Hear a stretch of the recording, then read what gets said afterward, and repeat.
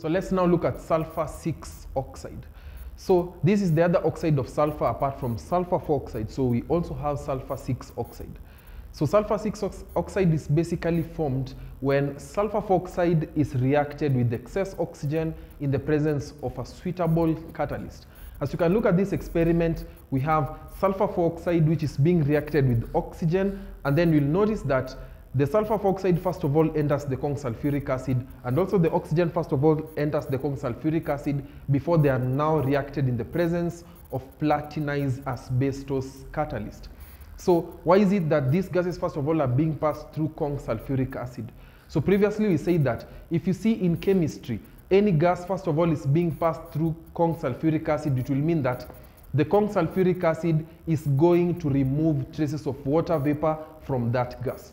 So since we have sulfur oxide being passed through conc sulfuric acid, it will mean that water vapor is being removed. Or rather, the conc sulfuric acid is acting as a dehydrating agent to remove the excess water vapor found embedded inside the sulfur oxide. So as well with uh, the oxygen, conc sulfuric acid is removed, is used to dehydrate or to remove water vapor from the oxygen's atmosphere. So the gas which is now being reacted uh, in the presence of platinized asbestos is pure sulfur oxide and pure oxygen gas. So this catalyst, which is the platinized asbestos catalyst, is used to speed up the rate of reaction by, by which sulfur oxide is going to react with oxygen. So the asbestos is just going to speed up the rate at which the sulfur oxide is going to react with oxygen molecules. And then after that, we'll see that sulfur 6 oxide is being collected under a very cold environment in order to enable the sulfur oxide to be able to condense and cool to form a liquid sulfur 4 oxide. So as well in the experiment, we can see that we have calcium chloride. So the function of the calcium chloride is just to prevent moisture from entering the experiment from the other side. That's the function of the calcium chloride. It's just to prevent moisture from entering and interfering with the experiment.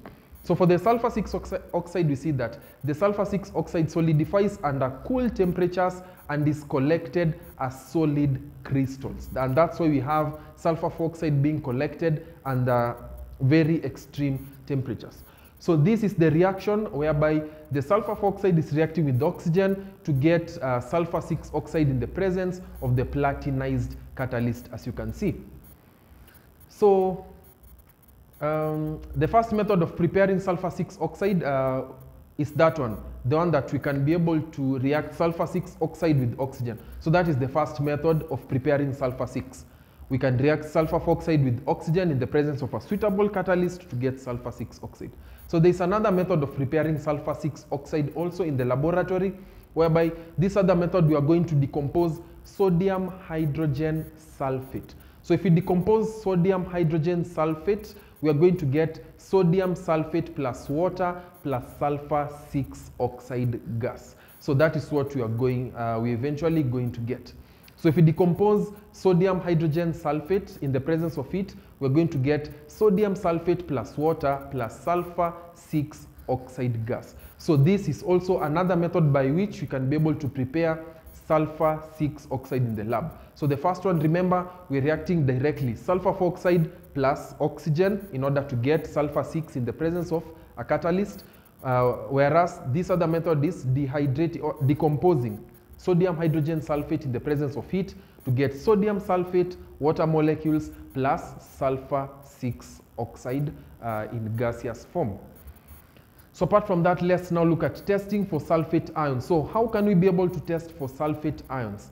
Like for example, you have been given, um, you have been given a solid in the laboratory or a sample in the laboratory. Then you have been asked, test for sulfate ions in this uh, solid. So how are you going to test for sulfate ions?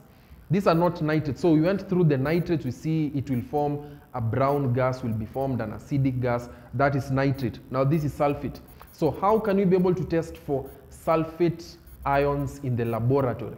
In the laboratory, just know this. If you have been given, if you see something barium, barium something, let it always hit in your minds that there might be test for sulfate ions because barium ions are basically, they are mostly used in the testing of sulfate ions. barium. So in the laboratory, if you see you have been given sample barium something, always know that there might be a test for sulfate ions.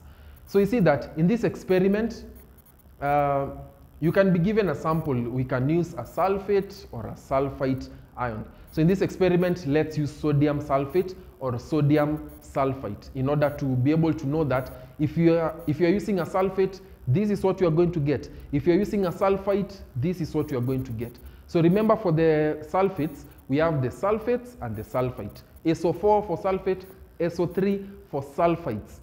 And all of them we're going to use barium to test if these are sulfate ions of, or if these are sulfite ions. So the heading of our experiment will be testing for sulfate or sulfite ions.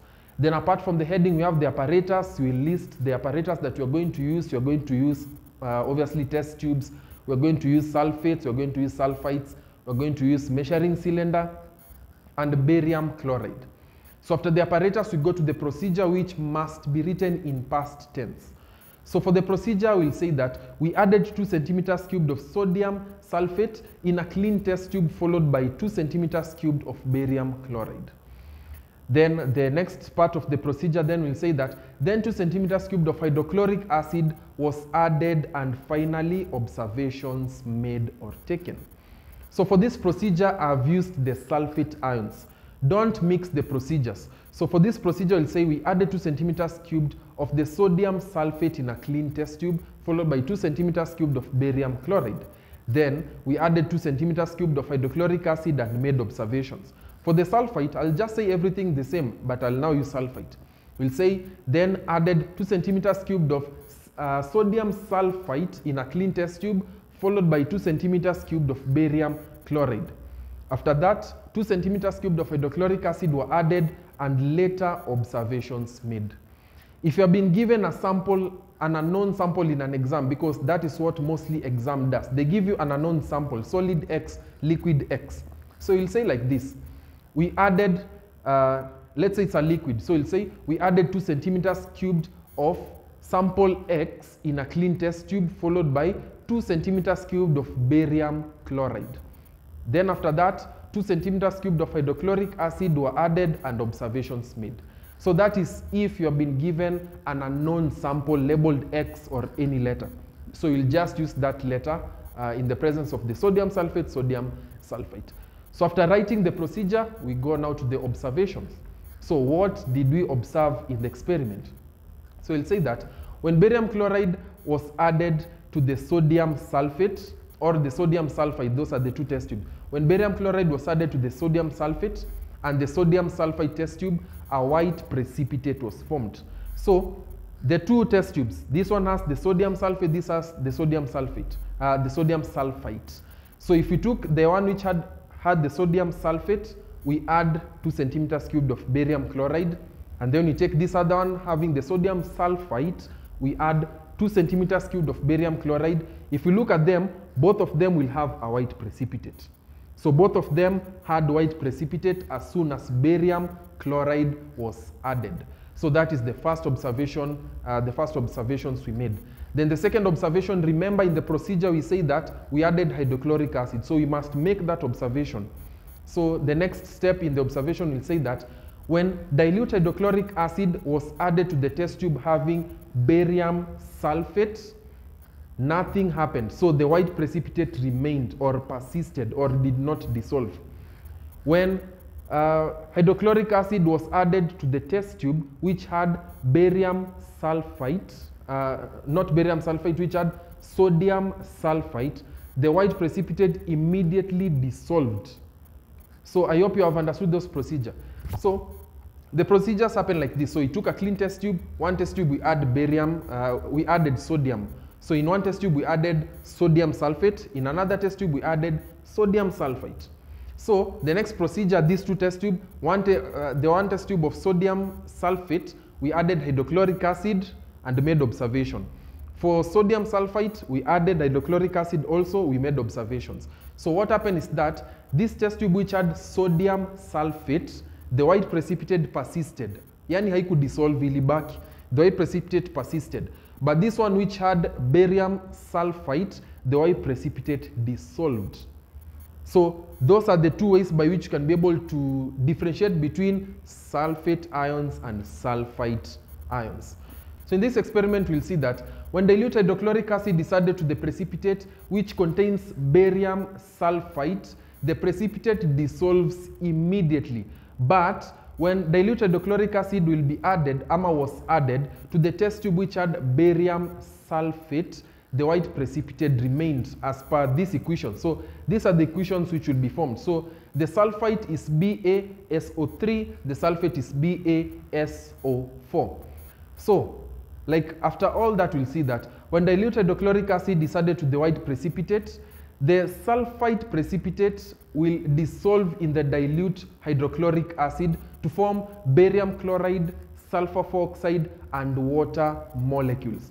So these ions, so the ions that will be formed will now be able to determine if a white precipitate yes will be formed or a white precipitate no will not be formed. So the formation of the white precipitate with barium is a test for the sulfate and the sulfite ions in chemistry.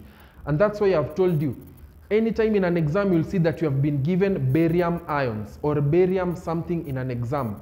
Always let it hit your minds that there might be test for sulfate or sulfite ions. So how are you going to be able to know that these are sulfate ions? So sulfate ions, they will not be able to dissolve in an acidic medium. So for example, if you use hydrochloric acid like the experiment or use nitric acid, so the sulfate ions will not be able to dissolve, but sulfite ions will be able to dissolve. So the white precipitate of sulfite ions will dissolve in an acidic medium.